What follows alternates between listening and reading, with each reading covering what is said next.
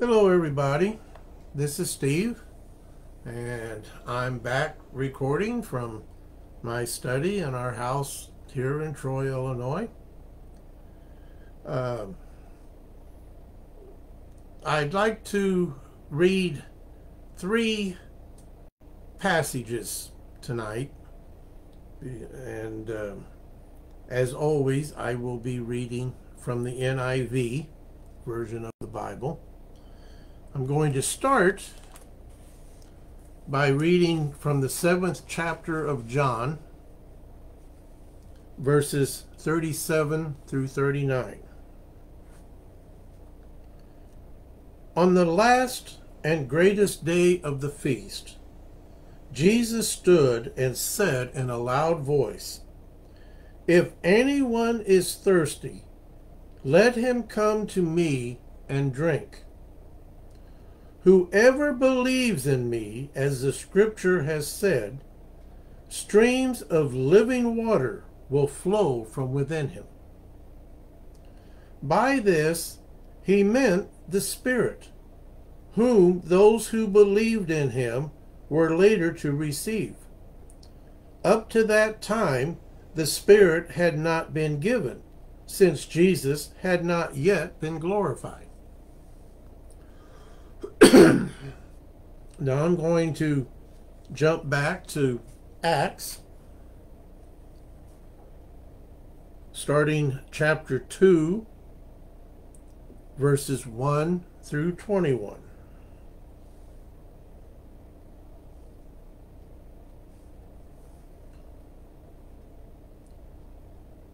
When the day of Pentecost came, they were all together in one place. Suddenly, a sound like the blowing of a violent wind came from heaven and filled the whole house where they were sitting. They saw what seemed to be tongues of fire that separated and came to rest on each of them. All of them were filled with the Holy Spirit and began to speak in other tongues as the Spirit enabled them. Now, there were staying in Jerusalem God fearing Jews from every nation under heaven. When they heard this sound, a crowd came together in bewilderment because each one heard them speaking in his own language.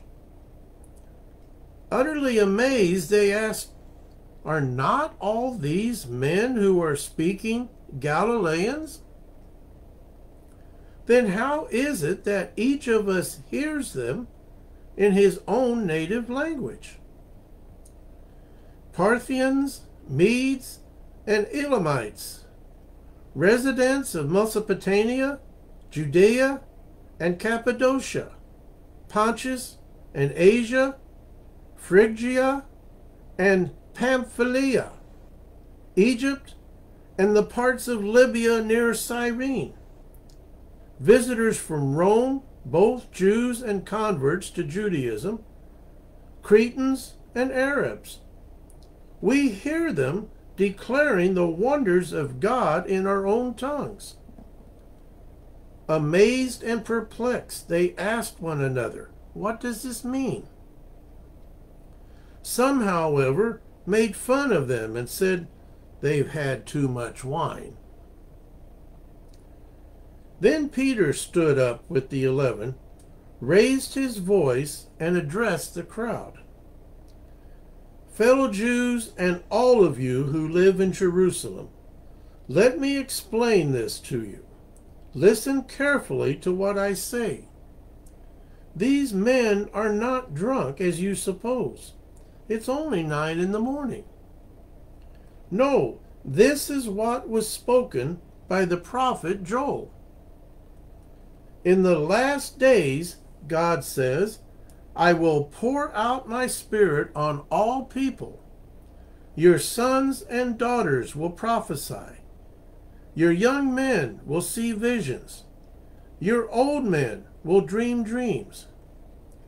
Even on my servants, both men and women, I will pour out my spirit in those days, and they shall prophesy. I will show wonders in the heaven above, and signs on the earth below blood and fire and billows of smoke. The sun will be turned to darkness, and the moon to blood, before the coming of the great and glorious day of the Lord. And everyone who calls on the name of the Lord will be saved. Lastly, I'd like to read from 1 Corinthians chapter 12 verse starting with verse 3 and all the way through 13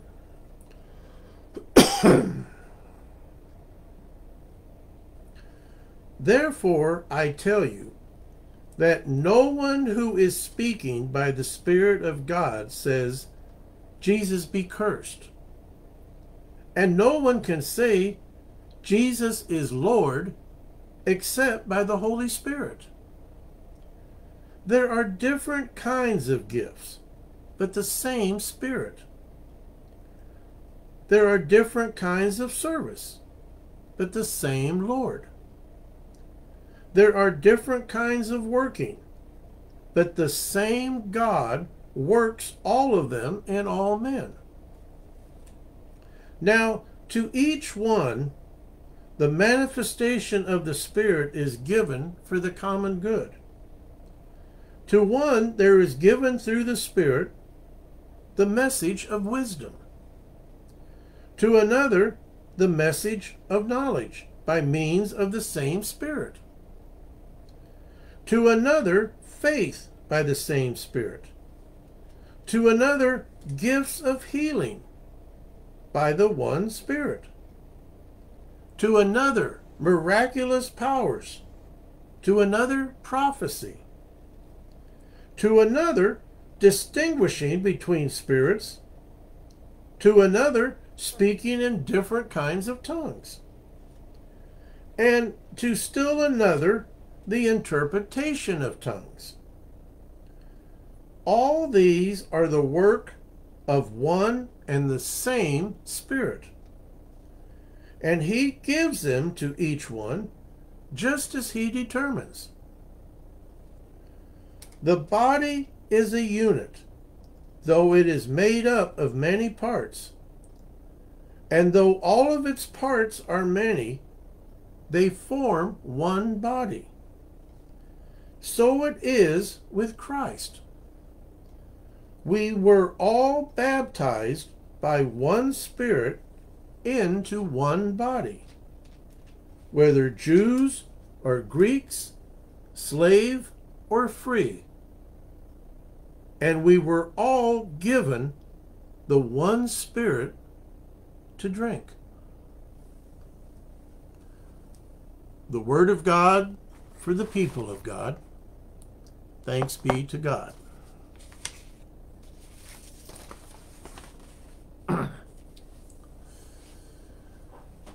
In the very late 60s and early 70s, Barbra Streisand was in her rock and roll period and released at least two albums that were very much rhythm and blues and rock oriented. And it was during this time that she became one of my favorite performers. I have several of her albums, made eight track and later cassette tapes of them over the years, and now have most of those same songs on CD. And one of my favorites has always been a song called Space Captain. In it, she tells to a hard, throbbing beat how her spaceship once flew close to this planet, and now they're all trapped here until they learn to live together in peace. In fact, the second verse goes, Lost my memory of where I've been. We've all forgot that we could fly. Someday we'll all change into peaceful men. Then we'll return into the sky. Learning to live together, learning to live together, and so on. I've often wondered just how someone could forget that they could fly. In the third book of The Hitchhiker's Guide to the Galaxy, Life, the Universe, and Everything, author Douglas Adams gives us the guide's take on flying. The guide says that there is an art to flying, or rather, a knack. The knack lies in learning how to throw yourself at the ground and miss. Later on in that same book, we find our hero, Arthur Dent, trying to run down a mountain that is collapsing underneath of him. We read, He ran with the fear of death in him, under him, over him, and grabbing hold of his hair. And suddenly he tripped again and was hurled forward by his considerable momentum. But just at the moment that he was about to hit the ground astoundingly hard, he saw lying directly in front of him a small navy tote bag that he knew for a fact he had lost in the baggage retrieval system at the Athens airport some 10 years previously in his personal timescale.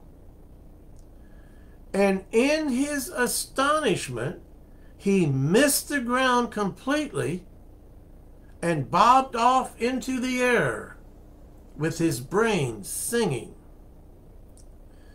In other words, he forgot to fall.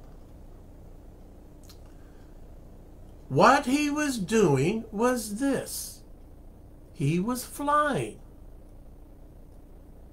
He glanced around him in surprise, but there was no doubt that that was what he was doing. No part of him was touching the ground, and no part of him was even approaching it. Now, I'm not proposing that any of us here could fly around if we could just finagle a way to forget to fall after we tripped over something. In fact, most of us are at that point where much of our concentration is on not tripping or stumbling in the first place.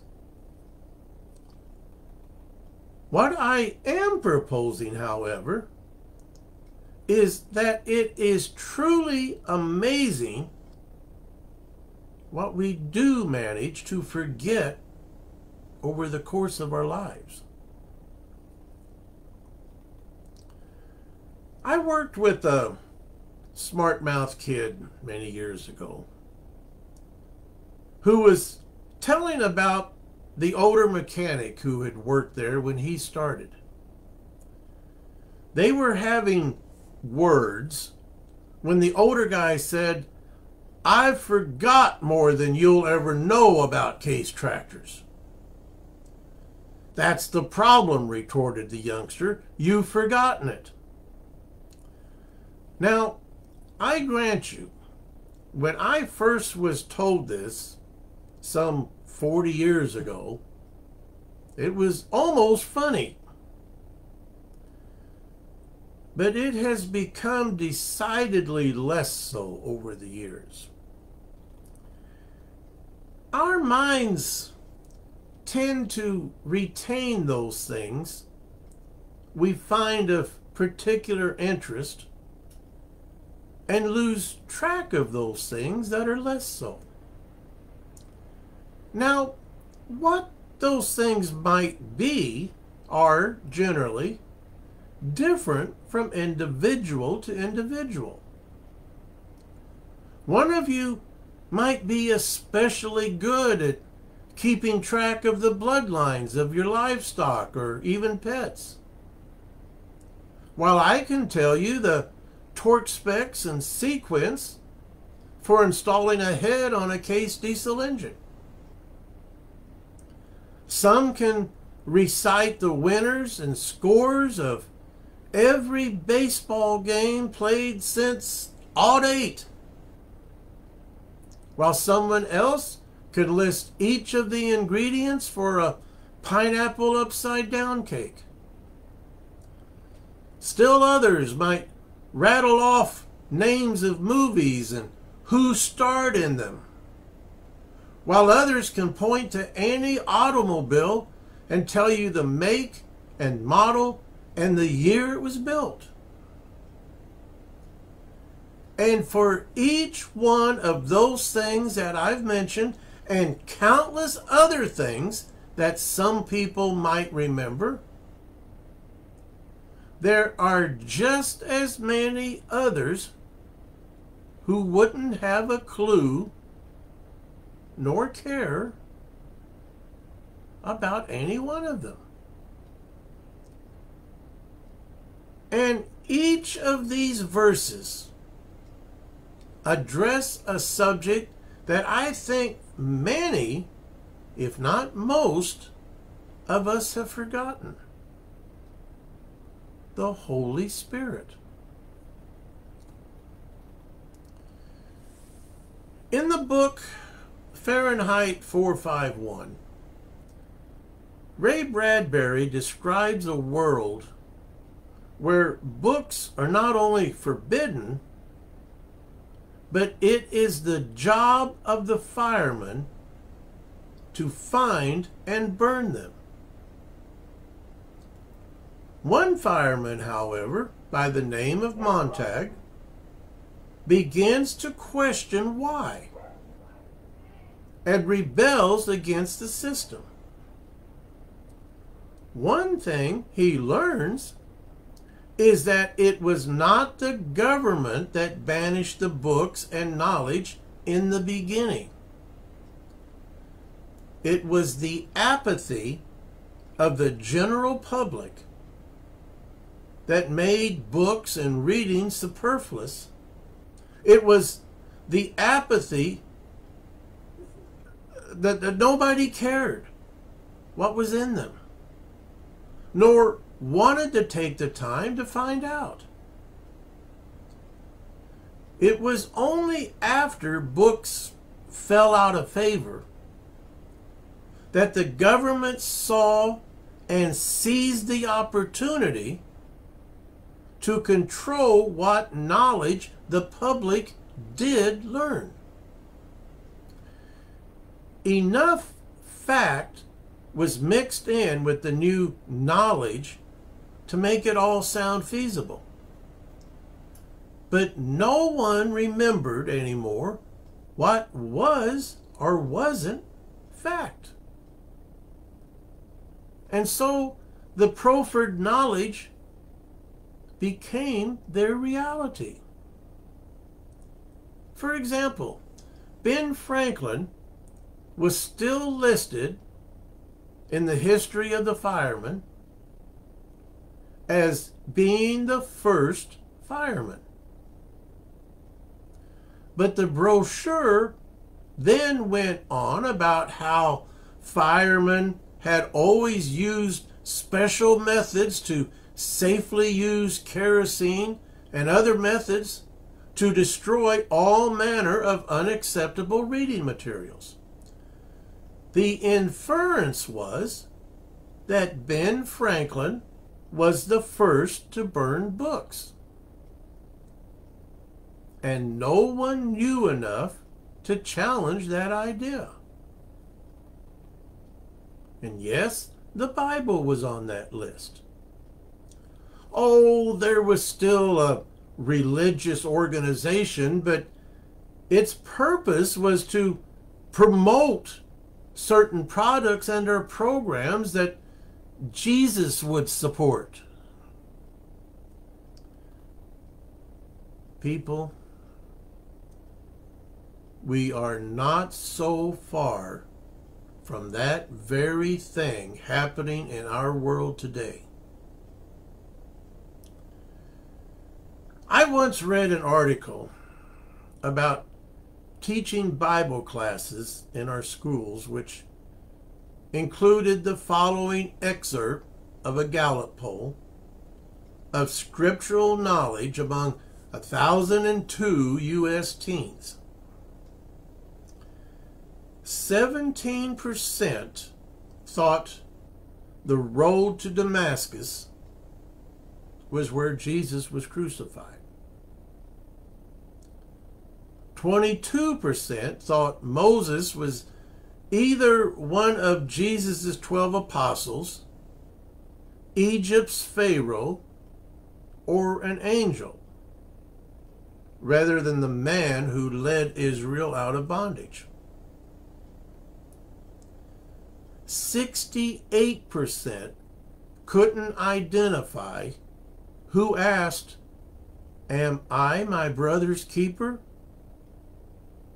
It was Cain after he murdered Abel. 28% didn't realize that do not divorce isn't among the Ten Commandments. 53% couldn't say what biblical event occurred at Cana. Jesus turned water into wine. How did you do on these questions? And asking that question leads me back to what the overriding common factor of all of today's verses is and ask, what do you know about the Holy Spirit. We have heard Jesus say, Whoever believes in me, as the scripture has said, streams of living water will flow from within him. And that by this he meant the Spirit whom those who believed in him were later to receive. We read how when the day of Pentecost came, they were all together in one place. Suddenly, a sound like the blowing of a violent wind came from heaven and filled the whole house where they were sitting they saw what seemed to be tongues of fire that separated and came to rest on each of them. All of them were filled with the Holy Spirit and began to speak in other tongues as the Spirit enabled them.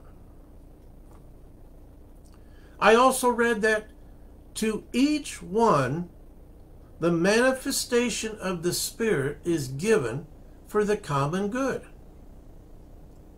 To one, there is given through the Spirit the message of wisdom. To another, the message of knowledge by means of the same Spirit. To another, faith by the same Spirit. To another, gifts of, fe- of healing by that one Spirit. To another, miraculous powers. To another, prophecy. To another, distinguishing between spirits. To another, speaking in different kinds of tongues. And to still another, the interpretation of tongues. All of these are the work of one and the same Spirit, and he gives them to each one just as he determines. Each of these deal with the power of the Holy Spirit. And yet, how many of us have just seemed to forget that He's about?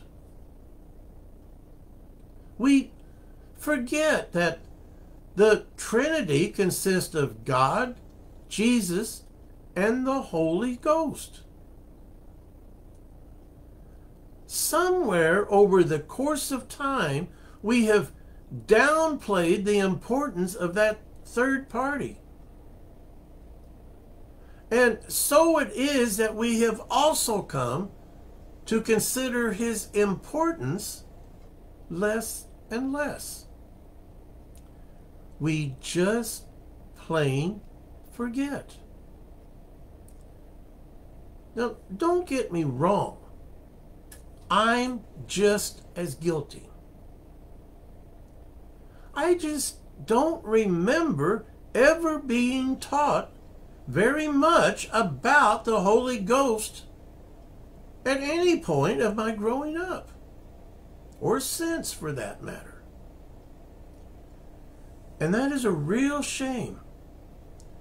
For we are told over and over again that it is the Holy Spirit that gives each of us our gifts just as He determines. We're told that no one can say Jesus is Lord except by the Holy Spirit.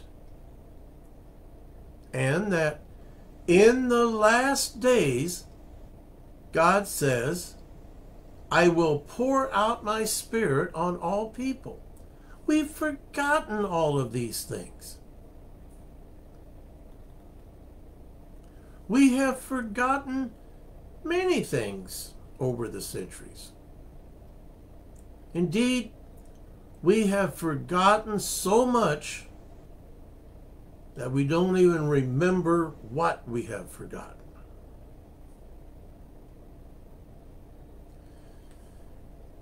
I'll tell you what else we've forgotten. We have forgotten about the young girl in town who's struggling to raise a child all alone. We've forgotten about the family who has lost their income due to a mine closing or a plant moving out of state. We have forgotten about the orphans in Sarajevo, tsunami victims, the starving in Africa, the poor in South America. They're not a part of our world, so we don't think about them. And if we don't think about them, for us, they don't exist. We forget them. And because we have forgotten about all of these people crying out in hunger and pain and grief, we've forgotten the importance of maintaining our support for them through our giving of our time and money. We have forgotten that.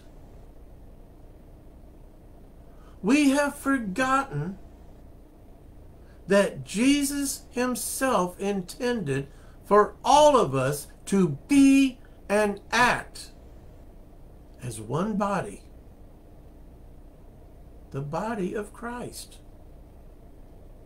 in all things. And that is exactly what Paul is saying in these verses from 1 Corinthians this, this morning. The body is a unit, though it may be made up of many parts. And though all its parts are many, they form one body.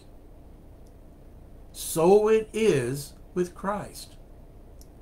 For we were all baptized by one Spirit into one body, whether Jews or Greeks, slave or free, we were all given the one Spirit to drink. So let's all read our Bibles. Let's all rediscover who and what the Holy Spirit really is and how he relates to us and our relationship with God.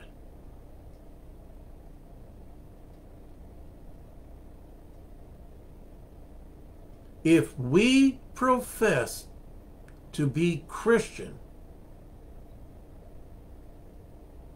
we'll study and learn and follow all that it means to be Christian. Who knows? Maybe someday we will discover we really can fly. Let all of God's people say, Amen. May the presence of God, the Creator, give you strength. May the presence of God, the Redeemer, give you peace. May the presence of God, the Sustainer, give you comfort. May the presence of God, the Sanctifier, give you love.